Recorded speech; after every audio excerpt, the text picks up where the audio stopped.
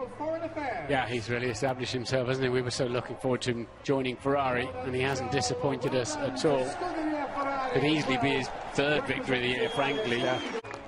That's a huge relief for Ferrari, isn't it, to finally get a victory underway and sealed up and done and dusted.